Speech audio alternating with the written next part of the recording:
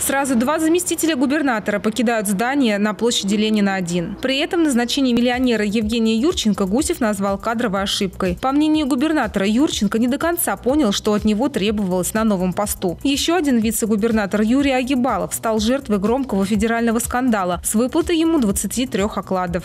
Не будет назначен на должность заместителя губернатора, первого заместителя председателя правительства Юрченко Евгений Валерьевич в связи с истечением полномочий, ну, поскольку он исполняет обязанности. Не войдет в состав правительства Агибалов Юрий Владимирович. Э, он писал заявление э, на увольнение, но эту ситуацию мы сейчас там дальше прокомментируем. Э, и на другую работу перейдет начальник управления по обращению с гражданами Пеньков.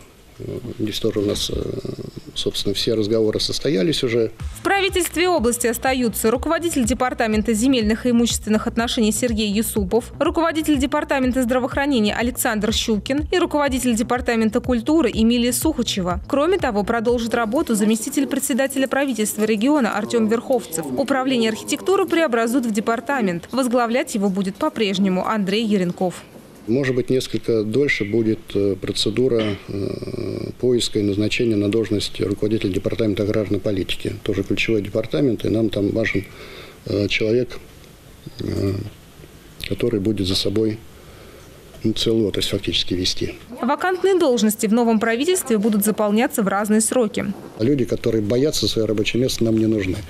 И в конце года, я надеюсь, уже такая первая итерация, что ли, э, кадрового резерва будет готова.